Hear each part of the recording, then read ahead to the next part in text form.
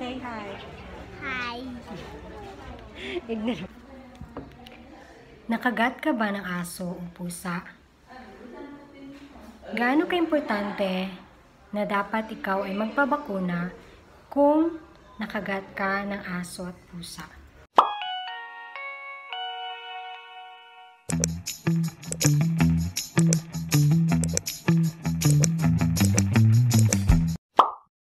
ano ang dapat mong gawin kung nakagat ka ng aso o ng pusa. So, I do not know, pero, pero maybe others, hindi na sila talaga nagpapa-inject, uh, especially pag nalaman niya na vaccinated naman yung aso. Pero in my case, kahit nahihirapan tayo sa pera, kailangan kong ipa-inject. It's because, um, una, akin ng aso, tapos, pamangkin ko ang nakagat ng aso. So, kahit vaccinated yung aso ko, so, gusto ko lang makasiguro kasi we do not know. Like, for example, let's say other people yung nakagat and we do not know, meron pala silang complication and then something happened to them. Baka ma-blame pa tayo. So, kahit vaccinated yung aso natin, mas mahalaga at saka importante talaga na pababakunahan natin yung taong nakagat ng aso. So, last Monday, that, that was March 8, pumunta kami doon. So, nang pumunta kami, uh, ang, hindi naman kami nagbayad. So, free lang siya. So, free ang vaccination. But, that was March 8.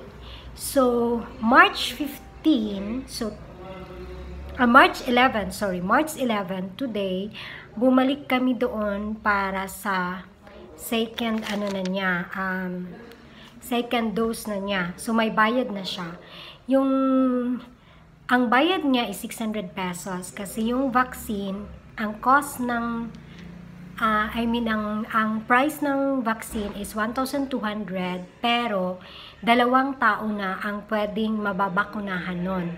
So uh, instead of paying 1,200, bali you will pay 600 na lang. So bali maghanap ka ng partner mo doon na nakagat din, na katulad mo na second dose din, para tag 600 kayo. So to, hatiin nyo yung 1,200. Tapos, uh, March 15, uh, March 15, babalik na naman kami. That is third dose. So, sa third dose, uh, meron din siyang bayad. So, the same sa second dose, uh, bibili kayo ng isang vaccine, vial ng vaccine.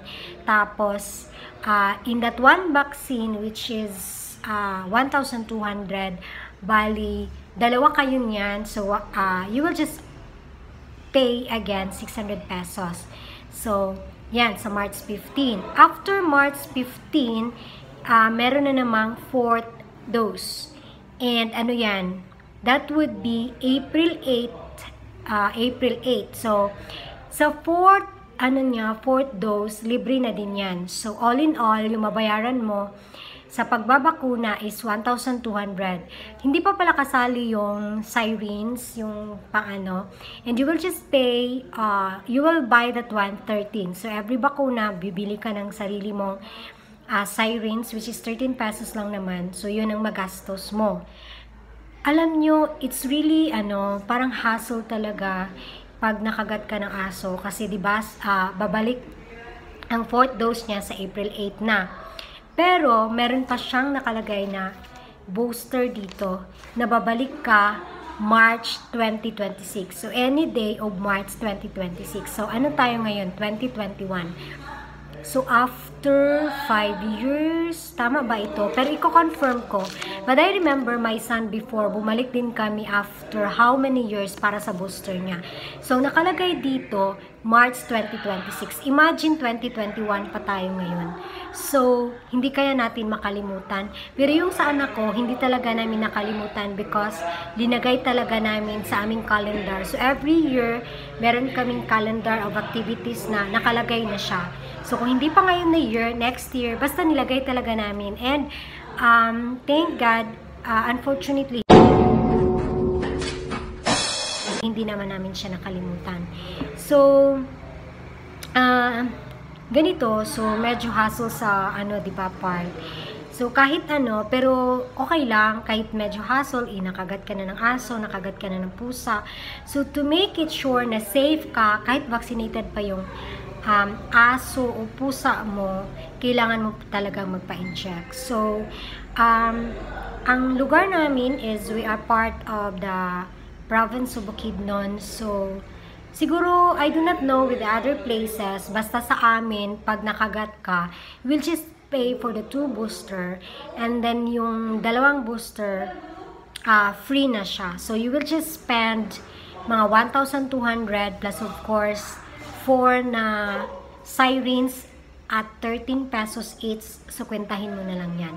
So, ganito pala, um, kung kayo ang nagmamayari ng aso, dapat talagang careful kayo na ilagay siya sa kulungan o kaya'y um, anuhin nyo, um, what is that?